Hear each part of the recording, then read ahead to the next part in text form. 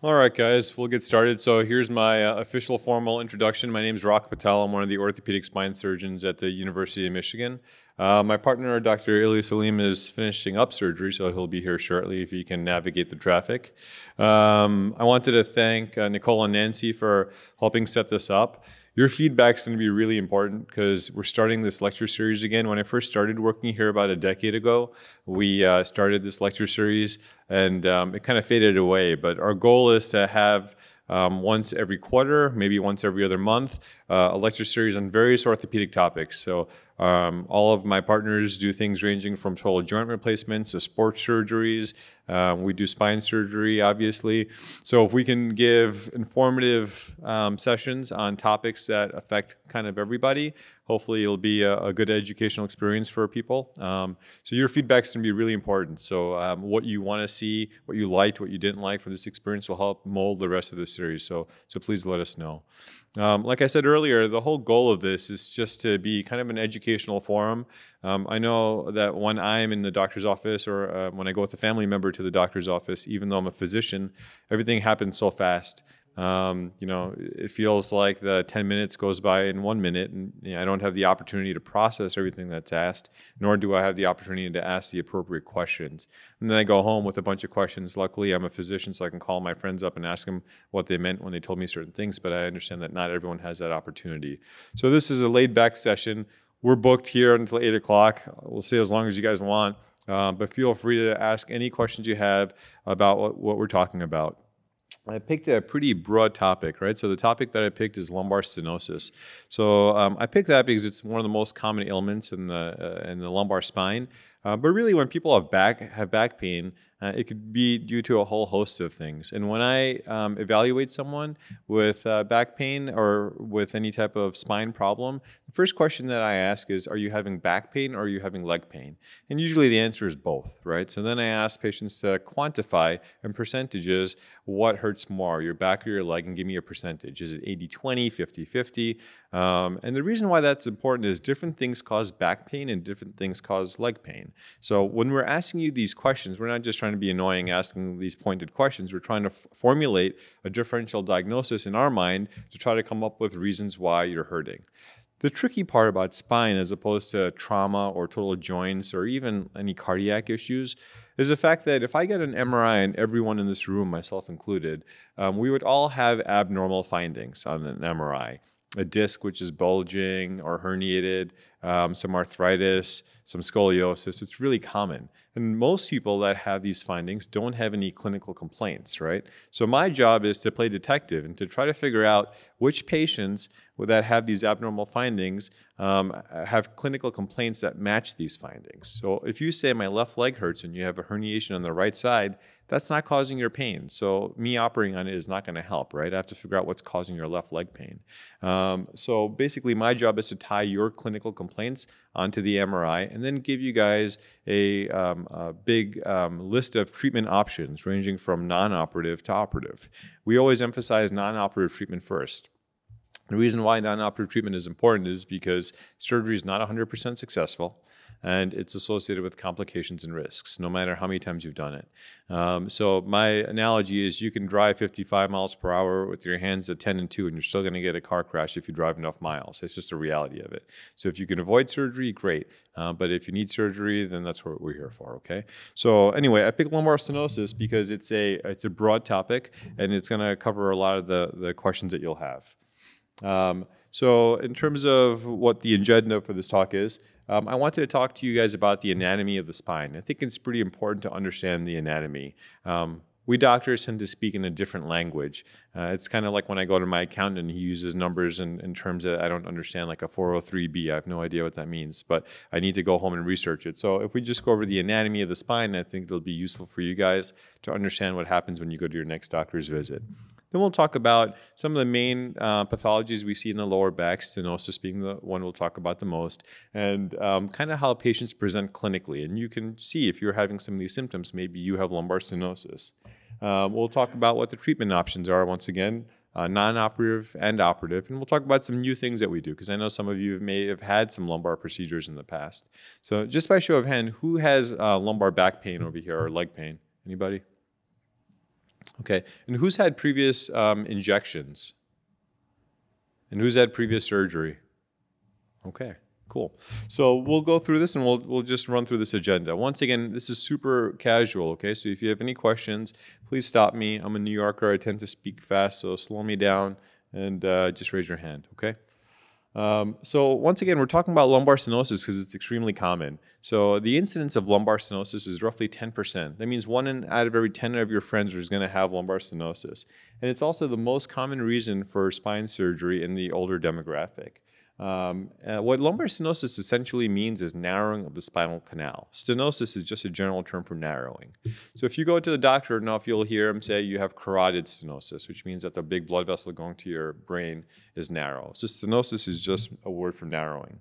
And because of lumbar stenosis, um, there are more than 125,000 procedures uh, performed for this in 2003, and that number has grown significantly since 2003. And it costs a lot of money. It costs a lot of money to have the surgery, but also costs a lot of money for patients because they suffer from this problem and they can't go to work and they can't do their daily activities. So it's a big financial impact as well. So in order to understand lumbar stenosis, it's important to understand the anatomy of the spine. So when we talk about the spine, we talk about the cervical spine, the thoracic spine, and the lumbar spine. The cervical spine refers to the neck. The thoracic spine is the middle of the back, and the lumbar spine is the lower back. And when we um, talk about these vertebrae, we label them C, T, and L. So uh, starting from the top, C1, C2, C3, C4, C5, C6, C7. C7 is the last cervical vertebrae. And then there are 12 thoracic vertebrae, and there are five lumbar vertebrae. So the last one is um, L5, L4, L3, L2, and L1. Um, so that's the way we number them. So if someone says that they have a fracture at L1, that means that this vertebrae, this square, is broken. Uh, we also have discs, which separate our vertebrae. All these spaces in the middle are discs.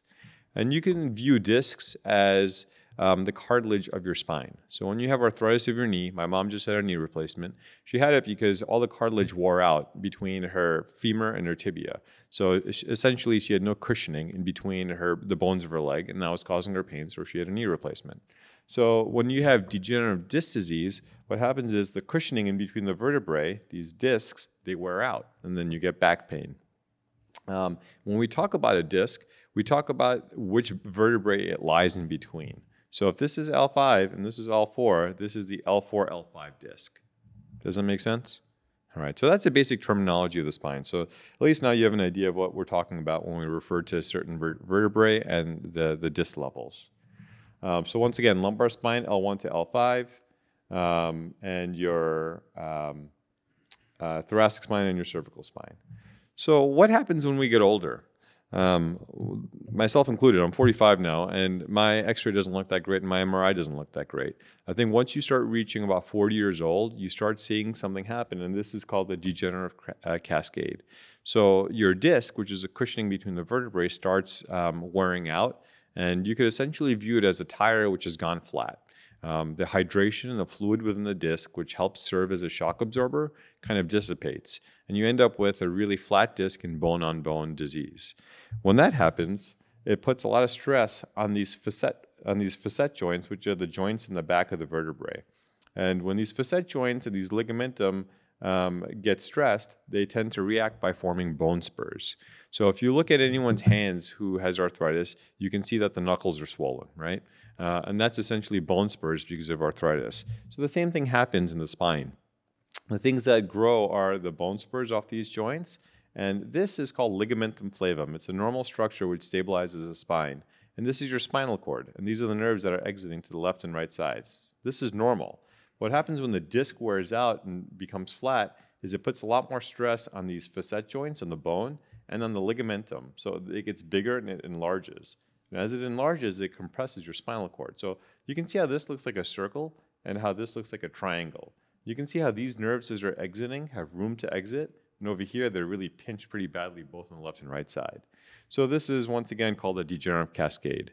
And the main reasons why this happens is because the bone is growing, the ligamentum is growing, and the disc is wearing out. So it just squeezes the spinal cord from all sides. So the results of this is basically pain and numbness in the back and in the legs. So this is spinal stenosis. Uh, so once again, here's a picture of the narrowed spinal canal. The pinched nerve as it's exiting, and the thickened ligamentum. So when we talk about stenosis, you'll hear two terms thrown around, central stenosis and foraminal stenosis. So central stenosis is when your spinal canal, in the middle of your spinal canal is being compressed, and that causes um, certain symptoms of buttock and thigh pain. Uh, and then you have foraminal stenosis. So I don't know if you saw in the other picture, you can see you have your central canal, and then you have where the nerves are exiting, kind of like um, uh, uh, exits off of a highway. They exit off the left and the right side. Sometimes these exit ramps are a little bit narrow, and if they're narrow, it pinches the nerve as it's exiting. So the symptoms are different. The symptoms are particular to where that nerve goes. In our bodies, we're wired. So we have certain nerves that supply certain muscles. Uh, for example, L3 supplies your thigh. So if L3 gets cut, you can't straighten out your thigh. Um, and it causes pain on the top of the thigh. And you have each nerve supplying a different muscle. So essentially, if the nerves are compressed as they're exiting, you're going to have symptoms in that nerve distribution. So central stenosis squeezes the whole spinal cord and causes thigh pain. But foraminal stenosis, when the nerve is exiting the, the spinal canal, the exit ramp of the highway, if that nerve is compressed, you'll get pain in, in the leg based on whichever nerve distribution that's going to. So that's the difference between saying, Doc, when I walk, my back hurts and my buttock hurts and my leg hurts, versus saying, Doc, I have horrible sciatica going down one leg. That's the distinction that central stenosis and foraminal stenosis makes. Does that make sense, everybody? Okay, great. Um, so, what do we do when someone comes into the office? Well, well, the most important thing, once again, is to get your your your chief complaint and kind of understand what your symptoms are. Um, but once we talk to you, we want to look at some imaging studies, right? I know everyone uh, always says an MRI is better than a CAT scan is better than an X-ray, and that's just simply not true. They're just independent tests. They're just totally different. It's like comparing apples and oranges. So X-rays are great because they show bone really well, and also X-rays are taken in an upright position when you're standing up, right? So we can see what happens to your spine when the when your body weight is loading that spine. An MRI, on the other hand, is taken when you're laying down. So we can't see the effects of your weight on it. So if you have a scoliosis or if you have any instability, we're not going to see that on the MRI because you're laying down and everything goes back where it should be. But when you stand up, we can really see the impact of any instability that you have or scoliosis that you have. Um, but the x ray shows bone. It doesn't show nerves or discs at all. And that's where an MRI is super helpful. An MRI shows your nerves really clearly as well as your discs. So when we look at an MRI, we look at certain sequences in the MRI. The sequences are called T1 and T2. So basically, a T1 sequence shows fat. So if we're looking at an MRI up over here, you can see all that white stuff is fat. That's more fat than you should have in your spinal canal. If you can imagine an enclo- enclosed space and you just pump it full of fat, I know it's hard to imagine fat as something that's compressive, but that can squeeze your nerves tremendously. And we see, the, we see this a lot. It's called epidural lipomatosis. So essentially, it's fat squeezing the nerves, causing spinal stenosis, narrowing of the canal. More commonly, what we see is spinal stenosis because of degenerative changes, like we described earlier with the disc wearing out. And that's what you see in this picture over here. This is a real life MRI, and it's pretty similar to the, to the cartoon that I just showed you a second ago, where you have these bones that are growing, and you have the ligament which is thickening, and the disc which is bulging, leading to a really narrow space for the spinal cord. So you can see how that dark circle is being compressed tremendously, and that's spinal stenosis. So that's why an MRI is useful. So when people have uh, spinal stenosis, they typically um, have well no matter what no matter what's causing someone's pain there's typically a position which makes your pain better and uh, typically a position which makes your pain worse. And it's important for us to ask what causes your pain to be better and what causes your pain to be worse because it helps us once again in our mind come up with a differential diagnosis for what's actually causing your pain. In spinal stenosis when you stand up your spinal canal actually gets narrower and it squeezes your spinal cord, which makes it difficult for people to walk. So, pretty commonly, people will say, when I'm walking um, in the grocery store, I have to grab onto the shopping cart, right? So, why do you have to grab onto the shopping cart? It's typically not a structural problem, but your body does that because as you bend forward, your spinal canal is actually opening up in size and it takes the pressure off the nerves. As you extend and stand, like if you're waiting online or if you don't have a shopping cart, then it pinches your nerves and it causes you more pain. So, specific to spinal stenosis, extension causes pain and bending forward causes you to feel better. Now, that's exactly the opposite of what a disc herniation would cause. If someone came in and they said, Doc, I have pain shooting down my leg, down the back of my leg into my foot, um, and it hurts me a lot when I sit, but when I stand up, I feel better, then that tells me in my mind that I'm looking for a disc herniation more than spinal stenosis, which is a totally different uh, problem with a totally different solution. Okay, so this is a very classic thing that we see with spinal stenosis. So it actually has a, a, term. It's called shopping cart sign. Um, so if someone has a positive shopping cart sign, that means that when you go to the grocery store, you grab onto your shopping cart. Um, now sometimes we get a little bit carried away with this, and we see every single person in the grocery store on a shopping cart, and we think they have a spine problem. Simply not true. Some people are just tired or lazy, like my daughter. um, but uh, uh, it could also be indicative of other problems as well. Um, so some people that grab onto the shopping cart could have bad hip arthritis, right? So they don't want to put weight on their hip. Um, some people can also have um, scoliosis or what we call sagittal imbalance, meaning that um, they're tipped forward, not because their nerves are being pressed, but because the structure of their spine is causing them to tip forward. Um, so it's pretty good at telling us that someone likely has spinal stenosis, but we still need to investigate with um, x-rays and with MRIs. Um, so classically, spinal stenosis is interesting because it doesn't have any physical exam signs that are positive. Meaning, when we test you when you come into the office, we're testing for your muscle strength, we're testing for sensation, and we're testing your reflexes. And typically, with spinal stenosis, since it's a dynamic problem, meaning it happens only when you walk, not when you sit, these physical exam things are all pretty much normal. So when I examine someone's strength for spinal stenosis, it's normal. Their sensation is usually normal, um, and their um, only complaint is back pain. Their reflexes are typically normal as well. So it's, it's kind of interesting because physical exam doesn't help that much, but your, your history and your chief complaint really drives us towards this diagnosis. Um, so once again, the classic presentation is dull or aching back pain. It goes into your um, buttocks, your calves, and your legs um, and it causes um, a decreased ability to do activities. Um, and foraminal stenosis, if the exit ramp is narrowed and that individual nerve is pressed, then it can cause sciatica going all the way down the leg. And once again, when someone has pain going all the way down the leg, it could be because of a disc herniation or foraminal stenosis. So it's really important to get a really accurate history from people. Um, so why is it important to treat people with spinal stenosis? I'll tell you one of the biggest problems that we encounter is people that have had spine issues, whether it's stenosis or herniations or, or neck problems, that um, don't come in to see us soon enough, right? So often people will have these problems. They'll go see their primary care doctors. God bless their souls. They're just trying to do whatever is best for their patients. But they tend to put them in this vicious cycle of physical therapy and pain medications. Um, pain medications is a very hot topic right now um, with the whole narcotic um, epidemic that's going on.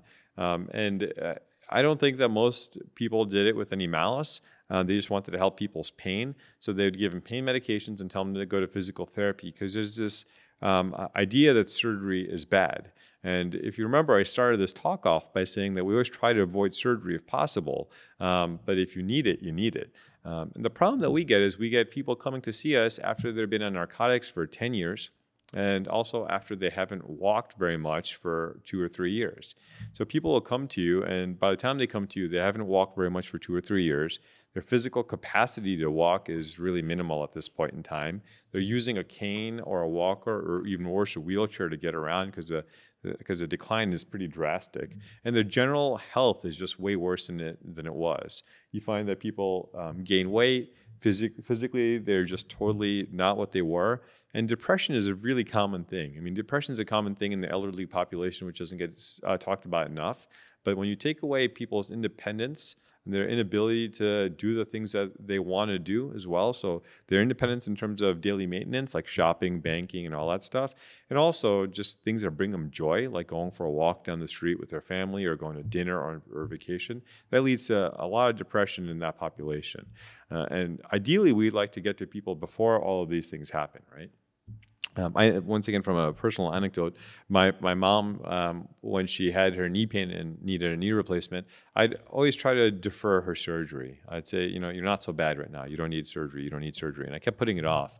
Um, and this is coming from a guy who has done a lot of knee replacements in his training. Um, and uh, I put it off because surgeries aren't 100% successful and complications can happen. Um, but when she came to visit me, she couldn't take my daughter to go get ice cream. We live in downtown Ann Arbor. We couldn't go a block and a half to Kilwin to go get ice cream. Um, so at that point in time, it was pretty clear that this is significantly affecting her lifestyle. I could tell it was affecting her condition and her mood. So it was the right thing to do to get a knee replacement at that time. And she did, and she did great. Now she's doing fantastic, right? Uh, but yeah, so it has a big impact on how people feel about themselves and their general health. So getting them active pretty early is, is an important thing to do. So it's important once again to realize that not everyone with spinal stenosis has pain coming from their spinal stenosis. So not everyone that has radiographs of having narrowing of the spinal canal has pain coming from that. This is important because often people that come in and they see a doctor and say, "Doc, I can't walk," and they look at their MRI and it shows spinal stenosis, they get they get a spine surgery, right? And then people don't get better afterwards. Well, if your pain is coming from hip arthritis and not from spinal stenosis, it's not a surprise that surgery on your spine is not going to help you, right? Because your pain is coming from your hip. And vice versa. We see a lot of people that come in with total hip replacements and they're no better. So they get referred over to us and we look at their spine MRI and everything matches spinal stenosis, not hip arthritis. And this is such a big problem that there's actually something called hip spine syndrome. So um, I give a talk yearly um, at our national meeting about this, on how to differentiate um, spine versus hip pathology. And we spend a lot of time, uh, my partner and I, in coming up with an accurate diagnosis. Um, understandably so, when people come to you, they want, their first question is, "What can you do to help my pain?" Right? And my first uh, uh, response to them is, "Before I can help your pain, I need to know what's causing your pain." Right? And then people say, "Well, physical therapy help me." Well, I don't know. It all depends on what the source of your pain is. Will an injection help me? I don't know. It all depends on what's causing your pain, right? There's certain pathologies which are amenable to injections, certain pathologies that are amenable to physical therapy. Um, but if you don't know what's causing someone's symptoms, then you can't prescribe them a treatment, whether it's injections, PT, or surgery. Um, also, people um, think that they just wake up and they develop spinal stenosis. Well, that's not true. Spinal stenosis, once again, is like knee arthritis, right? It's been brewing for a really long time. Um, so if you can imagine your spinal canal as a circle, um, it doesn't just go from a normal circle to 50% volume. It takes time, and over years and years and years, it decreases, right? So then you have to ask yourself if, if this thing has been going on for years, why did I start experiencing symptoms just a month ago, right? And it's because it's a threshold disease. And what I mean by that is um, you can have, let's just say, 70% opening and 30% occlusion of your canal and be just fine. But when it gets to 31%, it pushes you over the top and then you have symptoms. So there's a certain threshold, and once you reach that threshold, that's when you develop symptoms. The tricky part is the threshold is different in everybody. So I've seen some patients, MRIs, that concerned um, primary care doctors have sent to me where they have a complete occlusion of their spinal canal. I mean, that spinal canal has gone to nothing, right? You could barely see the nerves in there, but they're asymptomatic. And then you have some patients who have really little compression of their spinal cord and they're very symptomatic. So the important point is that spinal stenosis is a threshold disease um, and everyone's threshold is different. So those are the important uh, takeaways from that. Um, so once again, things that can cause uh, pain are going to be hip arthritis, um, also, a lot of people have problems with blood flow, right? So as you get older, your, your blood flow to your legs gets worse. So when you're walking and you, if you have pain with walking and you can't do your grocery shopping, how do we know it's not coming from poor circulation in your legs as opposed to spinal stenosis? there are certain things that we ask. We always say that spinal stenosis is a positional thing, right? Like we pointed out earlier, meaning if you extend, it pinches the nerves and you feel worse, but if you bend forward, you feel better. Um, with uh, vascular claudication, meaning if, if it's because of poor blood flow, any type of activity causes pain regardless of position, right? So if I ask you to walk a block. If you're walking upright, bent forward, whatever, as long as you're walking, your muscles are demanding blood. And if your blood flow is poor, then you're going to have pain. So it's not a positional thing. So this is something that we always ask, and we always do some physical exam science to see whether it's coming from your blood flow or if it's coming from your spine. Once again, all this is really important because the key to successful surgery is establishing a, a proper diagnosis before you operate on someone. That's probably the most important step. Um, so what do we do when patients have spinal stenosis? Well, I talked about non-operative care, right? And I think that should be the hallmark of everyone's first line of treatment, non-operative care. The only instance that um, I won't offer non-operative care when patients have lumbar um, stenosis is if their um, neurological status is declining rapidly. Now, this doesn't happen often, but if someone comes in and says, um, My legs are really weak, and I examine them, their legs are really weak. And if they're getting weaker and weaker as the weeks are progressing, then you don't want to wait because you don't want them to develop a permanent neurological problem, right? Uh, and the other is when people say that they're losing control of their bowel and bladder. Um, that's called cauda equina syndrome. The nerves in the spinal canal supply the legs and they make your legs move, but they also supply your bowel and bladder. And the reason why that's important is even if your legs are weak because of nerve compression, if I take the pressure off of them in a reasonable time, you can regain that strength. But when people have loss of bowel and bladder, typically if you don't get to it really quickly within 48 hours that bowel and bladder function doesn't come back right? So we're talking about independence and lifestyle a second ago right? I mean it's a huge hit to someone's uh, independence and lifestyle if they lose function of their bowel and bladder. So um, these are the only instances where i really won't wait to operate and i'll say we need to do surgery right away. But otherwise pretty much everyone goes through a non-operative regimen with us. Um, one of the things I like to use a lot are epidural injections, cortisone shots. Um, they're really good because they provide pain relief for the vast majority of patients, so they're therapeutic. Um, they're also diagnostic. I'd mentioned earlier that a lot of people have radiographic signs of spinal stenosis, um, but that's not really the source of their pain, right? So if someone has radiographic signs of spinal stenosis, and if I think it's causing their pain, if I get them an epidural injection to take the inflammation around the nerves and they feel better, that just confirms to me that this is the reason why they're hurting, right? And so that helps solidify the diagnosis. And once again, the key to treating someone is to have a accurate diagnosis. So this just hammers that in. Also, it's a prognostic test. So uh, the problem with epidural injections are that they don't last for forever, right? Um, and it's typically a law of diminishing returns, where the first one will last for let's just say six months, the next one will last for three months, and the one after that will last about a month, right? And you can only have four of them a year. So um, if you are getting at least three months relief with each injection, go ahead, keep getting them. Um, but if it stops giving you the relief that you want for the duration of time that, that you want, then it's not worthwhile to get more injections. So when I say they're prognostic, they really tell me how much relief you'll get from surgery. So if the injection gives you 100% relief for you know three weeks, that's really important for me to know. A, it tells me diagnostically that the stenosis is the reason why you're hurting. Because if it was your hip arthritis, then an injection in the back wouldn't change your hip arthritis at all. And also, um, prognostically, I know that if you got 100% relief from the shot, the surgery I'm going to do would give you 100% relief as well. So this is why it's important to get an epidural injection. Physical therapy is also important. Physical therapy, you know, is not going to change the structure of your spine. It's not going to remove the pressure from the nerves, um, but it can help you um, in a bunch of ways. So it could temporarily alleviate the pressure on your nerves and help you with your pain, but it could also prepare you for surgery moving forward, right? So the biggest thing that determines how well someone does postoperatively is what their function is preoperatively, right? So if you come in um, with a walker and really deconditioned, it's going to be really hard for you to recover after surgery. You're likely going to go to a rehab facility and your recovery is going to be way more challenging. But if you come in strong in shape, relatively lean, um, not using a walker or a cane, then there's a really good chance that you're going to go home after surgery and your outcomes are going to be way better. So, physical therapy is a great way to optimize people preoperatively. Um, exercise and weight reduction are huge. Um, I know there's a cycle of weight gain because of inactivity and depression from having spinal stenosis and not being able to do the things that you want to do. Um, but that weight gain really puts you at a disadvantage, right? So if you're going to have surgery, if you are heavier, it makes your complication rate higher. So I think uh, managing someone's weight is really important and lifestyle modification. So primarily, stop smoking it's amazing to me how many people still smoke, uh, even though we have all these warnings out there. And I can understand if it's an older generation because you guys were sold something else. But you know, I see a lot of people who are in their 20s and 30s smoking, and uh, we do a lot of surgery in younger people as well. And smoking um, just leads to a lot of postoperative complications. Um, when we were doing fusions, it doesn't let the bones heal together like we'd want. Increased rate of infections. It just um, makes it a nightmare to operate on people. In fact, a lot of insurance companies won't approve surgeries in patients that are smokers because the outcomes are not as good. And from their perspective, it's going to cost them more money because patients are going to need a, a repeat surgery.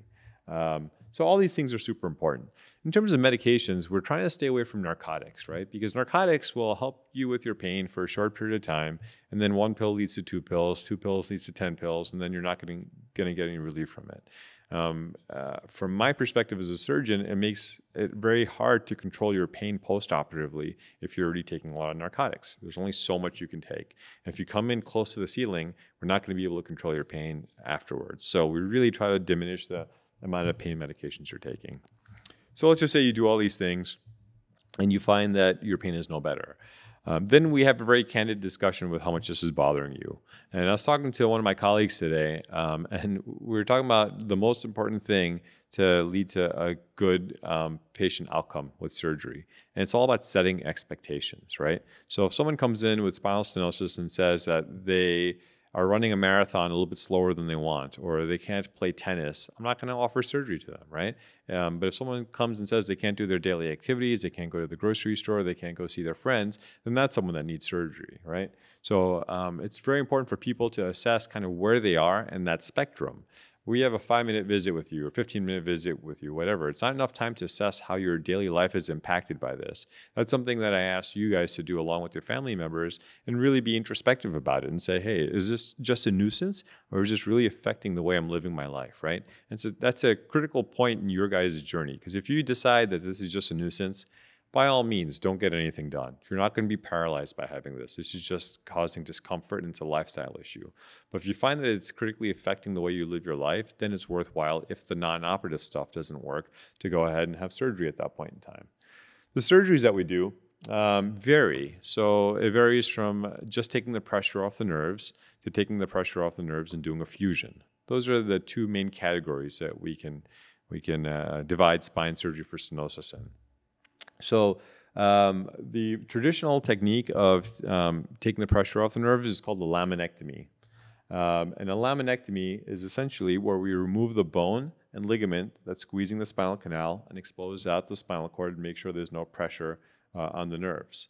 Uh, it's really common. It requires general anesthesia. It's a pretty straightforward case, and most people takes about 30, 40 minutes per level in terms of when people go home, most people go home the day um, after surgery. Um, depending on how debilitated you are before you come to see us, we can kind of predict whether you're going to go home or, or go to rehab.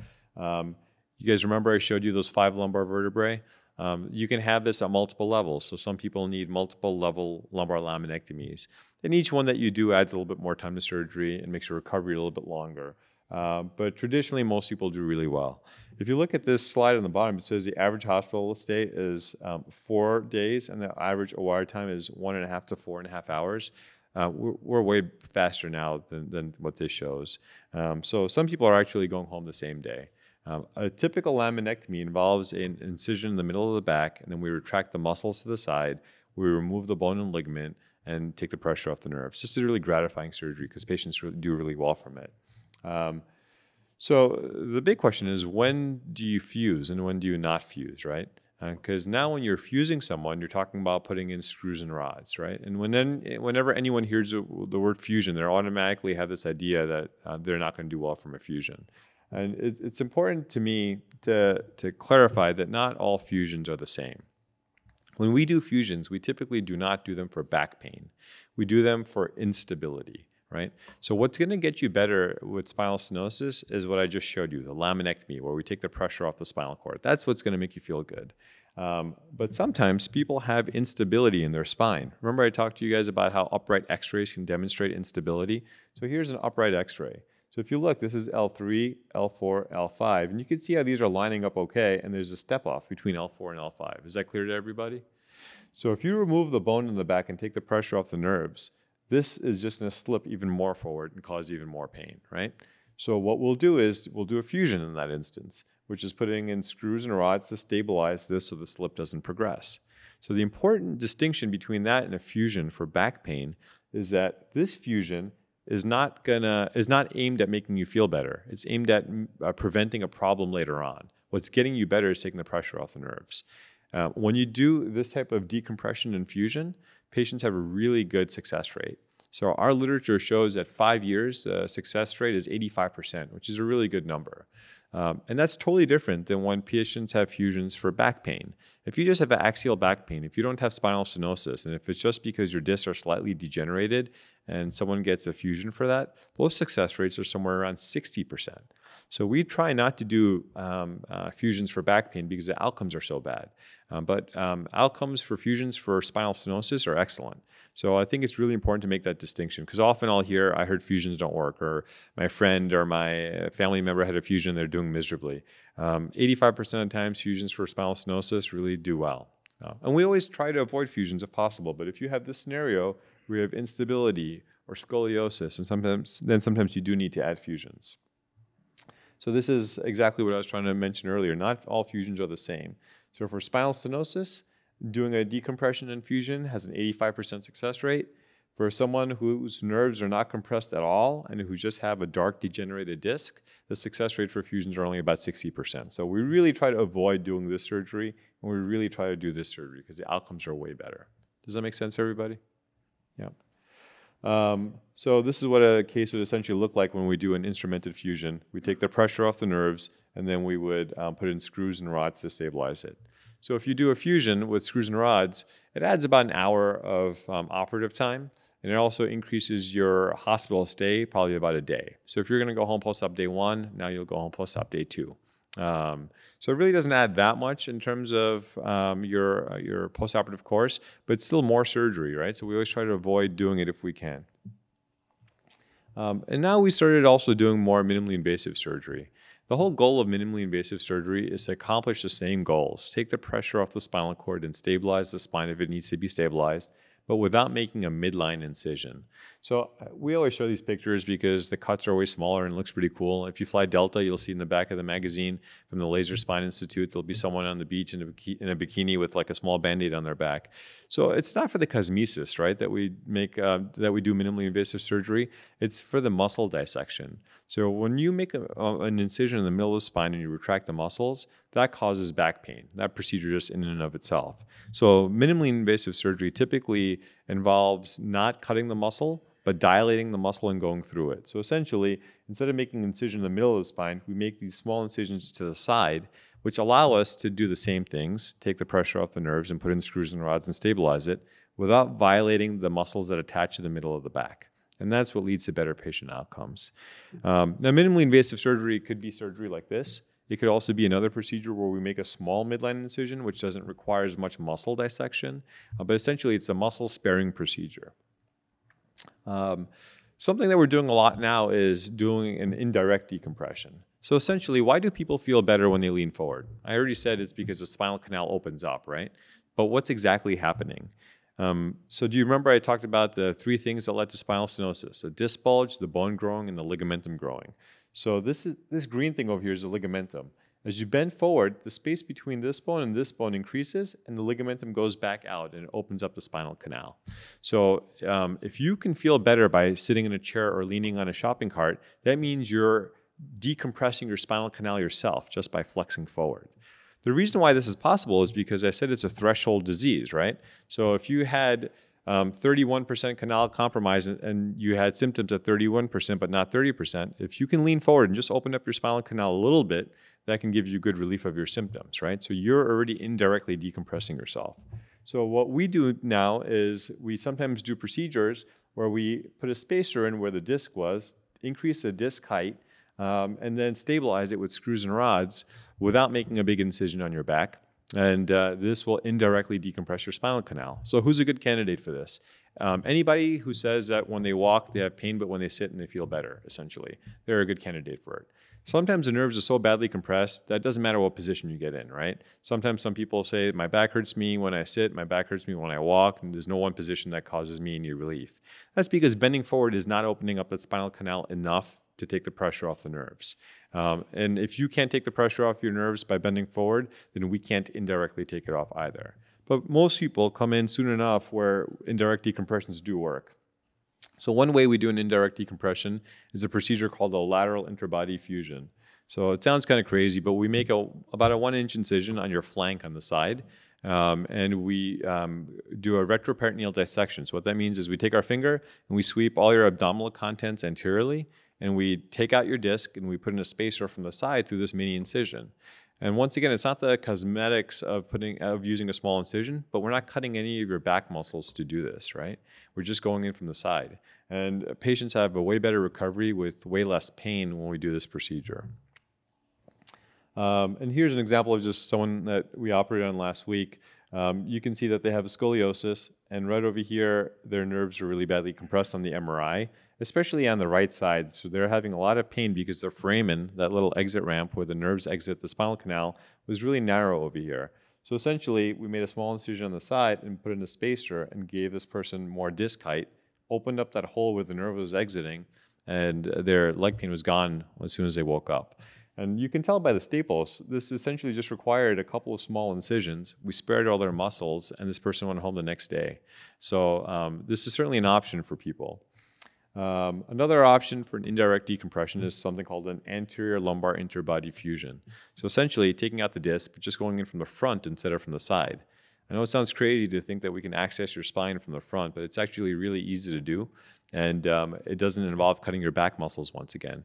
So if there's any high-level athlete that comes to see us, um, if we want them to return back to sport, we don't want to cut their back muscles because they're not going to be able to play football or baseball or whatever um, pro sport they were playing or collegiate sport they were playing. So we make an attempt not to violate the back muscles, and going in from the front is a really good option for them. Um, so if you go in from the front, you can have a pretty clean shot at the disc at L5S1. I just did that today, and someone actually went great. And um, this is a, someone I operated on last week. Now you could tell this person has a pretty bad scoliosis, right? Um, but very similar to the other person that we saw, the nerve is being pinched over here as it's coming out and going down uh, this person's left leg. Um, so essentially, we went in from the front and put in two cages, um, and through little incisions, put in these screws and rods from the back. We spared all the posterior muscles, and we opened up their spinal canal centrally and also from the sides. And all this, all this person's leg pain was, was relieved, right, from just this procedure. We didn't need to operate on the whole scoliosis. We didn't need to do a big procedure. Just something, uh, something small like this gave him pretty good pain relief. So there are options out there, right, as opposed to big, massive spine surgeries. And once again, it's really important to emphasize that the key to a good um, outcome is having a accurate diagnosis, making sure we're operating on the right thing for the right reason, maximizing all non-operative care, and then when you do need surgery, picking the right surgery for the right person. Um, this is my partner, Dr. Aleem. He was just operating, and uh, he's here. And we're, we're happy to answer any questions you guys may have. Yeah? When you put the screws in the back, do you feel those down the road? No, you won't feel them. They're really deep. So uh, I shouldn't say it. So most people, when everything goes fine, won't won't feel them. Um, there's a thick layer of muscle and uh, fat and skin covering it, so they're really deep. Um, the problems that we have with instrumentation is that the screws can come loose, and they come loose when someone doesn't fuse. So what we're trying to do when we fuse someone is we're taking two things that are moving and we're trying to fuse them solid. And in order to do that, we put screws and rods in, and then we put bone graft in there. And it's always a race between the bone graft mending those two things together versus the screws getting loose. Um, and typically, uh, the bone graft forms a solid fusion, and then those screws and rods really aren't doing anything. Kind of like if you had a broken bone in your wrist and you put a cast on there. Um, the cast is just holding the bone stable enough so the bone can grow across it and make it solid. And that's what essentially the screws and rods are doing. Technically, if you wanted to take the screws and rods out after you're fused, you can because they're not serving any purpose. But that just involves another procedure, so we typically don't do that. The problem is, as you get older, your capacity to fuse becomes less and less, just like your capacity to, to heal a fracture, right? So if you broke your leg and my 10 year old daughter broke her leg, her fracture would be healed in two weeks. Yours would probably take six months to completely heal, and I'd be in the middle somewhere about three months. Um, so it's always a race between the hardware getting loose and the, and the fusion taking. Um, there are certain things we can do to help promote fusions. We can use special protein sponges in surgery to help promote it. We can also do a lot of prehab, meaning just like we want you to stop smoking and lose weight before surgery, we can um, send you to someone who works with us to make sure that your bone density is good. And when we put in that screw, we get good purchase on that screw. So all these preoperative things are really important to do to maximize your postoperative outcomes. One more question. Yeah. Whenever So um, there are certain things that we're concerned about. If you have um, clips or shrapnel in your eye, that we worry about that because those are really small pieces of metal that can move. But for example, if you had a hip replacement or screws and rods in your back, that doesn't do anything. So you can still get an MRI. The caveat is if you have screws and rods in your back and you get an MRI of that same region, the picture just looks blurry because of metal artifact. Uh, we're getting better at doing MRIs even in that situation, but it's not dangerous for you to have it. And no, you won't set off any metal detectors at the airport either. So yeah, you're fine with that. Yeah, no problem. And I guess sort of a general or maybe even a theoretical question. If research came up with a truly viable replacement for the discs, you know, good cartilage that could actually go into the body, what would that do to your medical delivery systems? That's a great question. So the question is, um, what happens if you can do a disc replacement, essentially, right? Um, so we have come up with disc replacements in the lumbar spine and in the cervical spine. Um, the problem in the lumbar spine is it sees so many cycles that it eventually wears out and fails. Um, so that's a problem in the lumbar spine. And the neck, there's not as much load on it. Um, so so sorry, in the cervical spine, so cervical disc replacements, disc replacements in the neck are done pretty often. Ilyas has quite a few of them, um, and they're good substitutes for fusions in the neck. In the lower back, they're not as good um, of a substitute because of all the wear that the material sees. They typically use metal and plastic, just like they do in a total knee replacement, and it just creates so much debris and it wears out. Also, the thing that causes the stenosis is motion. Um, so preserved motion in a setting of stenosis already is just going to exacerbate that.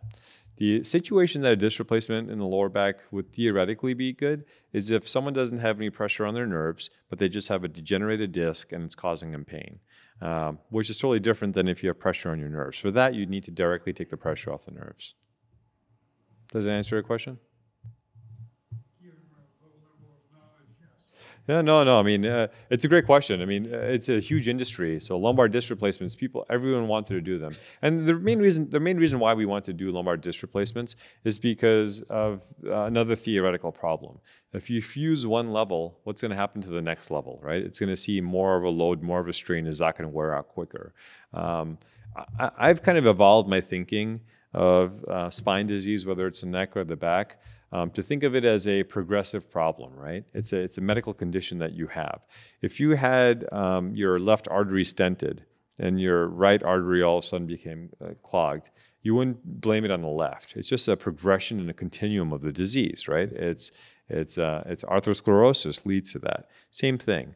I mean, spine uh, pathology is something that's going to happen in all of us at one point in time. And I don't think that a fusion at one level affects the next level as much as we think. I think it's just a natural progression of the disease.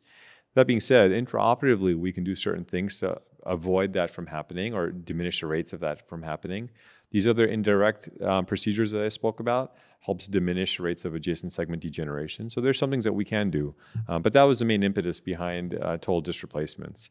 We also found that in the lumbar spine, when we looked at patients that had disc replacements and we got X-rays on them, the way we um, looked to see if the disc replacement is still working is we got flexion extension x-rays to see if it was actually moving. We found that they often auto-fused. So even though we put in a mobile bearing surface, it would fuse and become solid anyway. Yeah. Yeah, ma'am. Yes, you commonly hear of people who wake up with back pain, and then the back pain goes away hours after waking.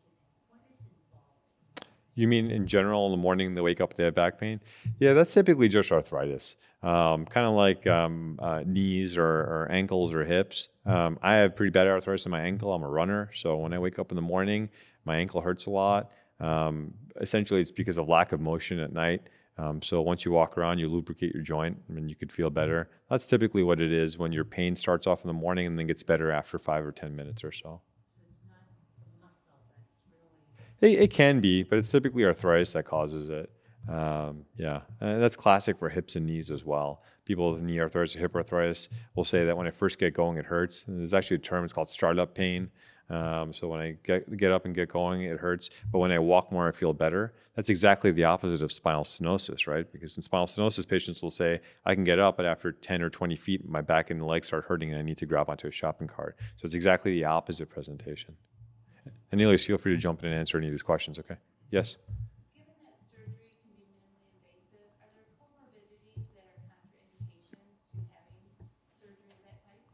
Yeah, I don't think it's comorbidities. In fact, the comorbidities lend themselves to minimally invasive surgery, right? So, um, uh, obesity um, is one of them. So, if you are obese, it essentially would require a bigger incision and working in a deeper hole if you did it with a traditional technique.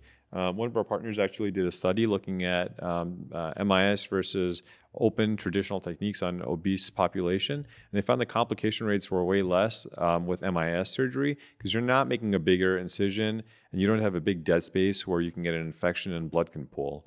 Um, I think the bigger question to ask is what conditions are um, uh, lend themselves to be treated minimally invasively, right? I think that's a bigger question. Also, the term minimally invasive. I mean, we're constantly redefining what that term means, right? Um, traditionally, it's just an incision that's smaller than your standard incision. Then we started doing these incisions through tubes on the side. So then it was any paramedian, meaning off the midline incision, was minimally invasive surgery.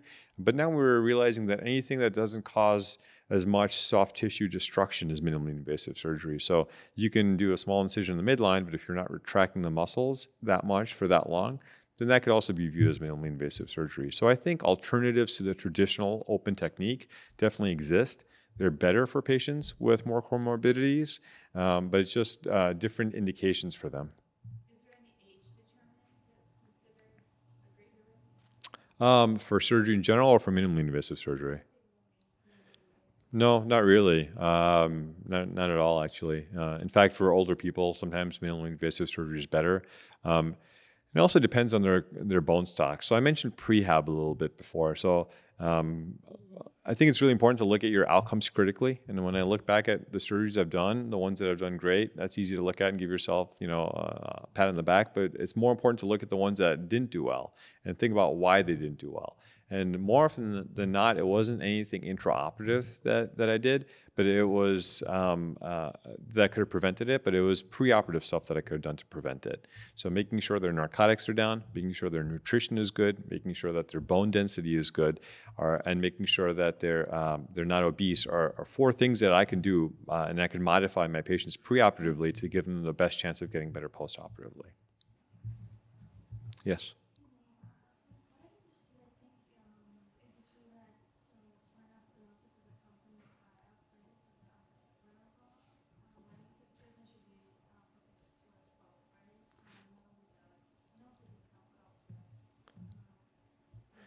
Yeah. So, so the question, correct me if I'm uh, if I'm wrong, but is is the stenosis are the stenosis and the arthritis related? Um, and they are uh, for the most part. So when we talk about spinal stenosis, that's just narrowing of the spinal canal, and it could happen for a whole bunch of reasons. Um, I showed you um, stenosis with epidural fat in there. It can happen because of a tumor in the spinal canal, but by far the most common reason why people have spinal stenosis is arthritis, and that's called degenerative spinal stenosis. Um, so arthritis comes in different forms. You can have osteoarthritis, which is essentially just wear and tear, and then you can have an inflammatory arthritis, which is like rheumatoid arthritis. Um, so osteoarthritis, unfortunately, there's not too many things that we can do to prevent it. Um, modifiable factors, once again, are smoking and weight loss and activity modification. So, if you're an obese smoker that has a factory job working really hard, then you are at a high risk of having it. Um, but if you are someone who doesn't smoke, is not overweight, and you know really doesn't have uh, a hard manual labor job, then you have a lower chance. But the number one factor for osteoarthritis is genetics, and that's not alterable, right? Um, and that's different than rheumatoid arthritis. So we see a lot less rheumatoid spine problems now because the treatments for rheumatoid arthritis have gotten so good medically. So patients are going to, are going to get medicine early on, so we don't really see that much. So yes, most stenosis goes hand in hand with osteoarthritis, and all you can do is change those modifi- modifiable things. You can't change who your parents are, you can't change your genetics, but you can certainly change uh, whether you smoke, your weight, and how you kind of live your life and your lifestyle.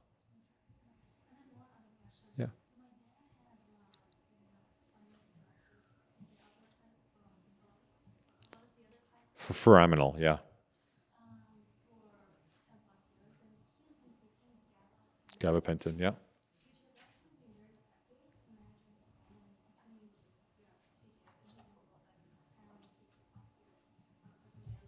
Yeah.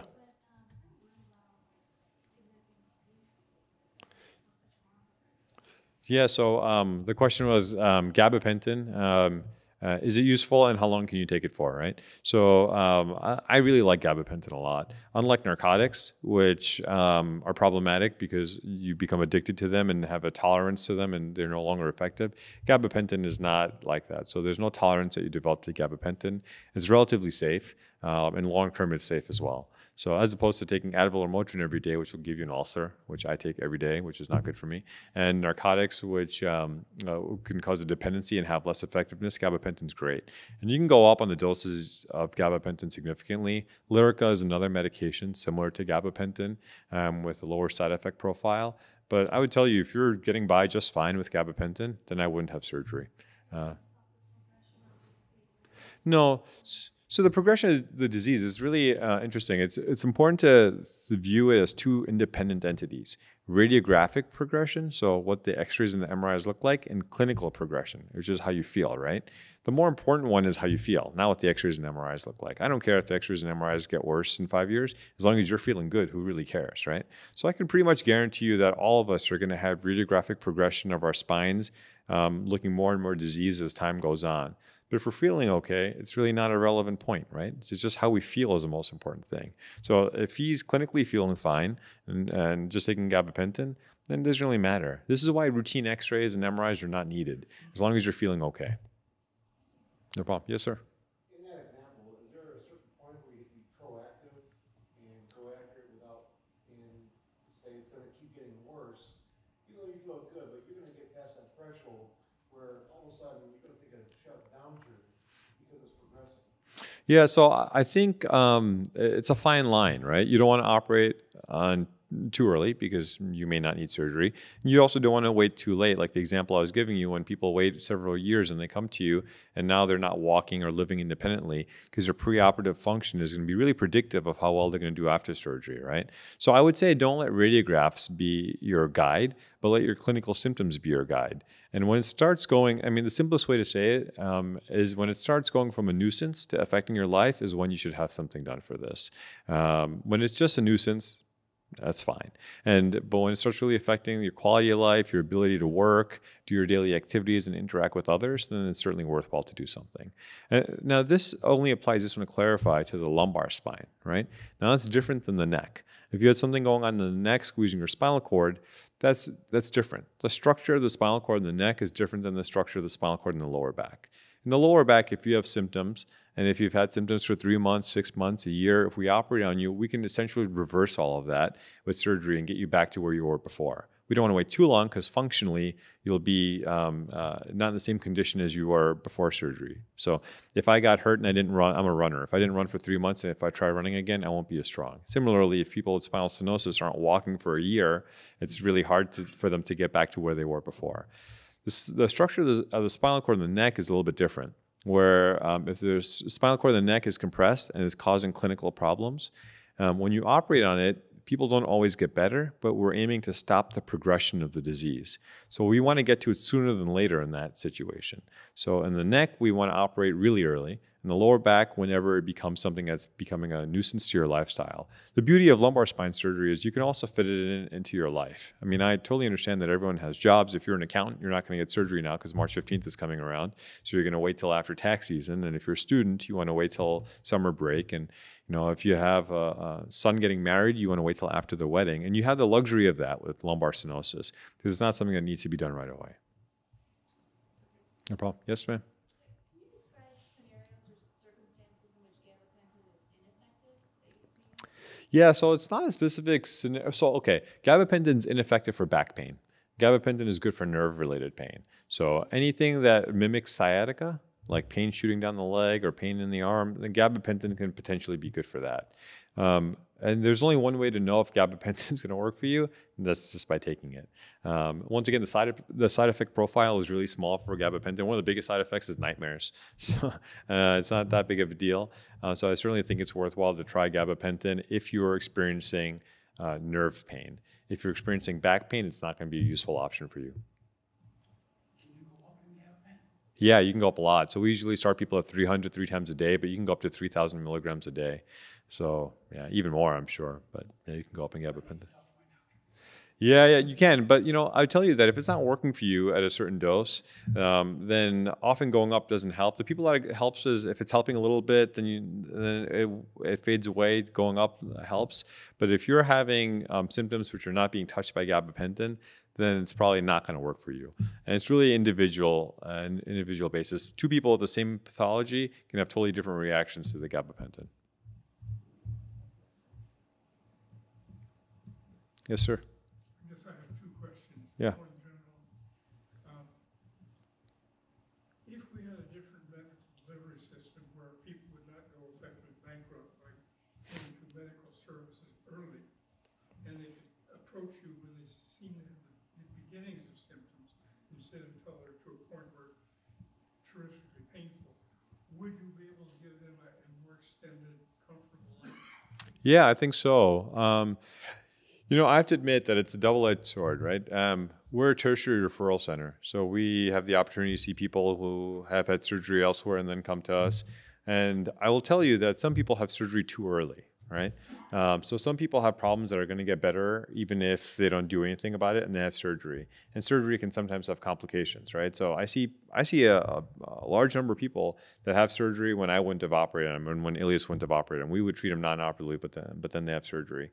Um, but then we see a whole host of people that have waited and waited and waited um, at the usually at the at the request of their primary care doctor, and then they come in where operating on them is just something that is not um, amenable at that point in time, which is really a hard situation because you're essentially telling these people, I know you have a bad problem, but it's too late in the game for me to fix it, and you're going to have to live your life in pain. Um, a, a, a classic scenario for this is patients that have um, deformity surgery. So if someone has scoliosis, for example, um, adult scoliosis is kind of the thing that I like to do a lot of. Um, and if I see someone who's in their 60s or early 70s with adult scoliosis, they can tolerate a bigger procedure way better than someone who's 81 or 82. And the worst case scenario for me is someone who's 80 years old with really bad osteoporosis coming in with a bad deformity who's been in pain for five, 10 years and really can't get around. And me telling them, I know what your problem is, but I can't do anything for you because it's too risky at your age to do it. So in that scenario, having them in the, in the fold earlier would, would be beneficial. That's quite common in this country. Yeah, it is. I mean, it's common in every country. Ilyas is uh, Canadian, so we talk about healthcare in other countries, and uh, you know, it's it's common everywhere. In other countries, when they look at patients, they view them not just as individual patients, but they look at how much is the surgery going to cost for each year of your life that you're going to live. So, if your expected life expectancy is only 10 years, do they want to invest the $500,000 in the surgery to get you there, um, as opposed to someone who has a 30-year life expectancy? Is it worthwhile investing it? Um, so. I mean, not to talk politics, but I think that um, in other countries that have national health care, often patients aren't getting the surgeries that we're getting over here. Um, if you needed a total knee replacement in other countries, you probably wouldn't get it if you were 70, like my mom. They'd probably say you're too late in the game to have surgery. It's not going to be financially worthwhile. It becomes a financial equation at that point in time. Um, so, yeah. My, my other question, uh, there was a friend of mine, I, and it was sort of triggered by the fact you said sometimes people have pain down Mhm. from spinal problems. This, this friend of mine has cold feet. Is there any reason a spinal problem could? Typically not. So when people have cold feet, I remember we talked about blood flow being one reason why people have back and leg pain. So typically it's a blood flow issue which gives people cold feet. Yeah. So once again, I bet you that person. How old is your friend? How old is your friend?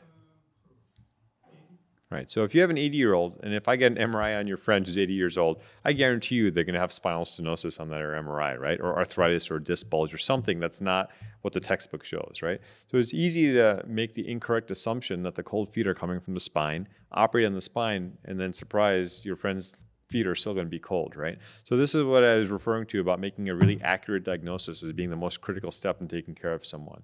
So in that situation, it's likely coming from blood flow, so we'd probably refer them to our vascular doctors to assess their blood flow.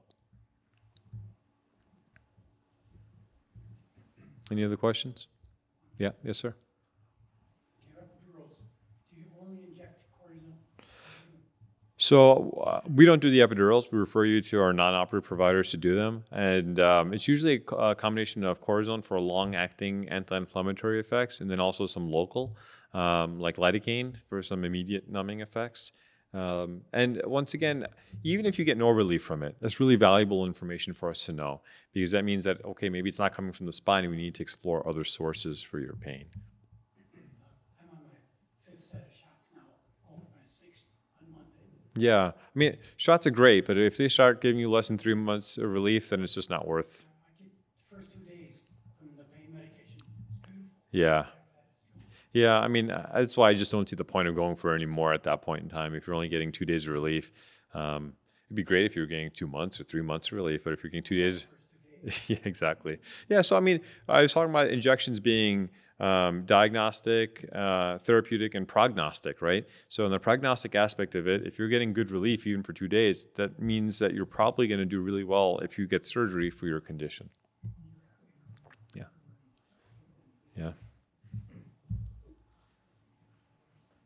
Well, I, I just wanted to come up and uh, introduce myself. So I'm uh, Dr. Aleem, uh, Dr. Patel's partner here, and I want to thank all of you for coming out today uh, in the weather. And uh, uh, the only thing I really wanted to mention, I know he covered everything really thoroughly here, is that um, really back pain, leg pain, spinal stenosis, spinal problems are really debilitating. And all of you, you know, you know, you have friends, family, yourself um, that have people with back issues and lived like that with, for years and years. Um, you know, spine surgery, um, you know, obviously most conditions don't need surgery, but if it comes down to that, spine surgery has really come a long way. Um, you know, many of us have heard of, you know, horror stories of people who had spinal fusions and are now bedridden and not walking or whatever it is. Um, and I would say that really, um, you know, I think 20, 30 years ago, that was that was really the case. But uh, spine surgery has come a long way, not only in terms of technology, but also in the way that uh, decisions are made and the way that data and evidence uh, is being incorporated. Uh, you know, there's a whole movement of evidence-based medicine, and that's also come through in in, in surgery, um, and really looking at which patients do better uh, with which operations, which conditions, um, and and in the minimally, uh, sorry, in, in the smallest possible surgical impact. Um, and that's really what we try to focus on. Um, and you know, uh, the selecting the right patient with the right pathology and and performing the right surgical procedure. And I think in that patient, um, by and far, uh, the, vast majority of patients do very well. Um, and we we all have patients whose lives have been significantly changed you know every day we see people that are you know have lived for years and years with pain and, and now um, are, are have an opportunity at you know i wouldn't say a pain-free life but at least a significantly improved life. Um, and so i think that uh, really we owe it to ourselves and our family members our friends to to at least look into uh, look into it. So thank you Yeah, and the benefit that we have um, being at the university is that um, uh, we get to incorporate some of the uh, research and the new techniques that we see into our patients' everyday lives. And uh, it- it- that's why it's great to work where we are. We're constantly incorporating new technology. Um, Ilyas mentioned how much safer surgery is now. We're using uh, navigation, we're using robotics, um, and all this is significantly impacting our patient outcomes. And uh, we're just really lucky to be working where we are. Uh, And we're, we're also really fortunate to be, once again, a tertiary referral center. So we get to take care of complex problems when other people aren't able to do so. So we're really in a privileged position to help people out. Yes, ma'am?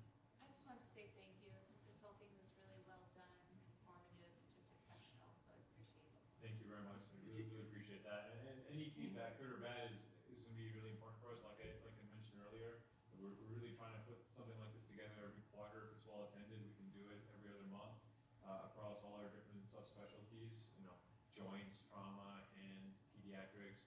So any feedback, uh, would be greatly appreciated. So thank you guys very much for coming. Yes, ma'am. Actually, have a few questions. Um, Is there a difference between whether an orthopedic spine surgeon or a neurosurgeon does the surgery? Yeah, so, so, so that's a great, a great question. Um, I would say that uh, as long as the surgeon is spine fellowship trained, um, really, you know, uh, you know, I think that uh, more important than whether they're a neurosurgeon or an orthopedic surgeon, you want to look at somebody, you want to find somebody who's spine fellowship trained. And I would say really it's important to, to that they work at a reputable center. Um, you know, again, more than orthopedic or neuro, like we see you know, working where we are, um, uh, surgeries and patients that had surgeries all over the place, you know, and it really doesn't matter if it was ortho or neuro. Um, you know, it's it's more important again that they perform the right operation in the right way. Uh, we work with our neurosurgery colleagues all the time, um, so neurosurgery spine colleagues, um, and both from the orthopedic side and the neurosurgery side. Um, you know, I would say that uh, uh, for the most part we're fairly similar. Yeah, I'll, I'll add to that. Um, so uh, we both train with neurosurgeons and orthopedic surgeons. They're, most of the fellowship training is combined now. We both teach classes nationally where they're attended by neurosurgeons and orthopedic surgeons. Um, and uh, you want someone who does only spine, right? So you wouldn't go to a Mexican restaurant where the chef makes pizza and Chinese food as well. You want to go to a restaurant where the guy just makes that cuisine. So don't go to a surgeon that does you know, from the orthopedic side, total joint replacements, trauma, and spine, uh, or from the neurosurgeon side that dabbles in brain tumors, uh, brain blood flow issues, and, and spine. Um, and the latter is very common. It's just pretty much a lot of neurosurgeons will do spines, and you want to make sure that that's all they do, that they're spine specialists and not just dabbling in it. Now, do the two of you, are you the ones who do the surgeries, or do you have people who are, you know, residents or whatever, students doing the surgery, and you're just overseeing them? Yeah, so How we, does we, work? yeah, we do all the surgeries, and um, there are definitely residents there when you come to a teaching institution. The residents are already MDs. So Dr. Bud over there in the back in the blue uh, sweater is a resident, and he's gonna go into spine surgery. Um, so someone like him will be there for the surgery. And uh, my analogy is that if you're the captain of a ship, you still need other people to make that ship go. So you still need people to help you out. So if you're not at an academic institution, instead of having MDs who are residents help you out, you'll have um, PAs or nurse practitioners helping you out. So no matter where you are, you're gonna have someone helping you out with the surgery because you need more than one set of hands. Um, sometimes if surgeries are exceptionally complicated, um, we'll both be involved in the surgeries together.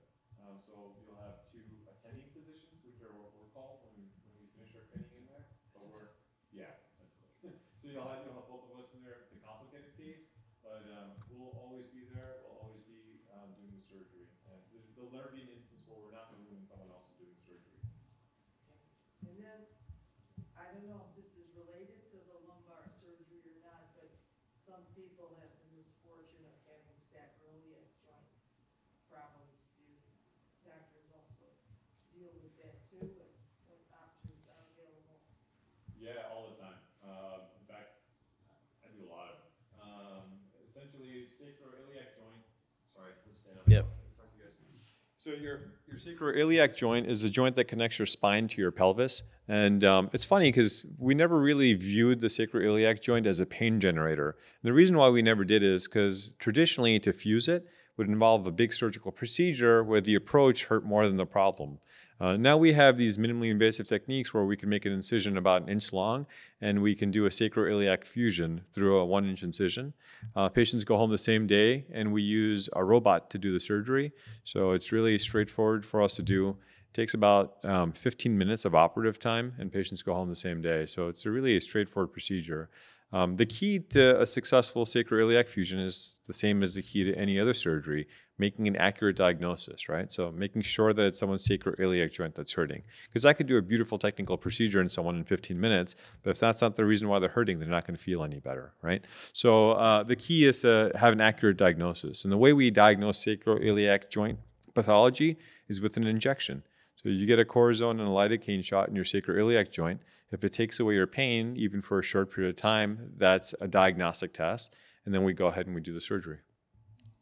Do you ever have people who have, say, problems in the lumbar spine plus sacroiliac joint? All the time. What do you do then? Is that, they get one surgery and then they have to wait to fully fuse and recover from one procedure before they go on to the next, or? Yeah, so So often patients will have multiple problems, right?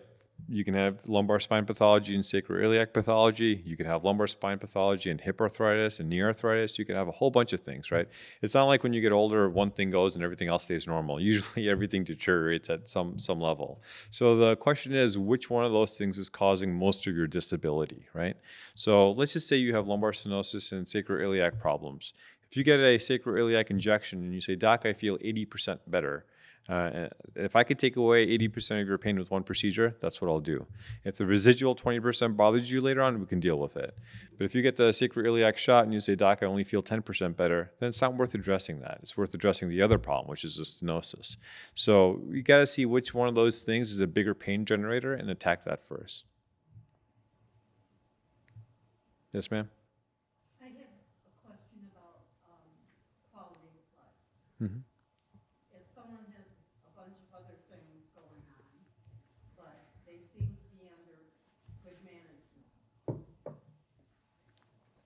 can they still get this procedure done, even though these other things are there, such as uh, just diagnosed with osteoporosis and maybe a slight heart condition or whatever? You'd be one of the healthier people we operate on if that's all you had. So um, absolutely. Um, unfortunately, people that are 20 years old don't have spine problems for the most part, right? Um, it's pretty rare. So most of the people we operate on are older. And another reason why people come to Michigan is we have great internal medicine doctors, we have great ICUs, so we can handle pa- patients with medical problems. Now it all depends on what the surgery is going to be, right? So if someone has heart disease and has had a bypass procedure done, I'm still okay as long as we get medical clearances doing a lumbar stenosis procedure on them. But I'm not going to do a procedure where I'm putting in 30 screws, two rods, and it's going to take me 12 hours on that patient, right? So it all depends on what procedure that patient needs and how many medical problems they have. But pretty much everyone we operate on has some medical problems. We work really closely with the primary care doctors and the cardiologists to get them cleared. And once again, we have someone working in our uh, department who just deals with bone health. So essentially, every single patient that we're doing surgery on is going is going to go see them, make sure that they're optimized. Uh, and their bone is as strong as it's going to be for surgery. And I think the key is optimized, right? Because you'll never be as healthy as you were when you're 20. Your bones will never be as good. sorry, sorry to break that news, but um, but we can make you as good as you can be given what where you are right now. Um, so we try to optimize everyone before surgery, and then I think a really candid discussion is the most important thing. Um, so just discussing what the risks and the benefits are of undergoing the procedure and what you can expect functionally afterwards. I think setting expectations and having having this discussion before surgery is the most important step. Yes, ma'am. If you uh, have the disease of osteoporosis, that's actually a rather complex situation if someone develops it and it's bad. Because a lot of the treatment options are not that good and I'm, and they have their own, they come with their own side effects. I'm kind of curious, what experience have you had, say, in doing surgery on people who do have osteoporosis? And then, well, do they do better with the spine surgery if they were on Prolia or if they were Reclast or, Yeah. or, or, or for, for? What is it that they should be on to to stabilize the osteoporosis before having surgery? So I can answer part of that question. Um, so there are two things that you can do when you're operating on patients with osteoporosis. You can maximize their bone density preoperatively, and then you can do different things intraoperatively to help them out, right? So on the preoperative front, um, there are many medications, and it depends on what the source of your osteoporosis is and how bad your osteoporosis is. Um, so this is why you, you need to speak to a specialist like what we have in our department who can look at your bone density test, look at all the medications you're on. Some people are on chronic steroids causing the osteoporosis. Some people are way off the, the score. My mom, for example, had a T score of minus four, which is really, really bad. Uh, so she took Prolia injections for a year before she had her knee replacement done. Um, if it's not so bad, then you don't need to have extensive medication for that long. You don't need to delay your surgery. So I think the question for which medication do you need um, is better asked towards a specialist like who we have intraoperatively, once I'm told that you're optimized, I still recognize that once again, your bone is not going to be what it was for someone who's 20 years old. Um, keeping that in mind, we have certain surgical techniques that we use to increase the likelihood of success. So, for example, yesterday, I think it was yesterday, I operated on someone with really bad osteoporosis who had surgery elsewhere and who, who had failed. Um, so, one of the things that we did to ensure that her screws would not pull out is we use something called fenestrated screws. So, we put in the screws and they have little holes in the ends of them, and we inject cement through the screws, and it forms a halo of cement around the screws to give it extra support and osteoporotic bone. So, that's one of the intraoperative things that we do. Um, we also use other techniques like putting in something called cortical screws, which are different than the traditional screws that we use. When people have osteoporosis, it's not as if their entire vertebra becomes osteoporotic. There's a certain section of their vertebra which, even if you look in osteoporotic people, still maintains its bone density, and that's what these screws kind of aim for, and that's what they bite into. So these cortical screws are another option in patients with osteoporosis. Um, we also are starting to use screws that don't require tapping. So if you basically have to drill a pilot hole before you put in your screw, that makes it more likely for the screws to pull out. So if you just put in the screw without drilling that pilot hole with a special type of screw, um, then that increases the likelihood that the screw is not going to pull out. Um, so these are all intraoperative things that we do. Postoperatively, sometimes we give people braces uh, as well to help um, basically belt and suspender the system. And I hate to say it, but even though we do all these things, preoperative, intraop, and post-op, sometimes patients with osteoporosis do have screws that fail and fusions that don't take. And we deal with those complications as they happen. But this is why it's really important to maximize you preoperatively and have discussions on what may happen after surgery, even if we do all the things appropriately.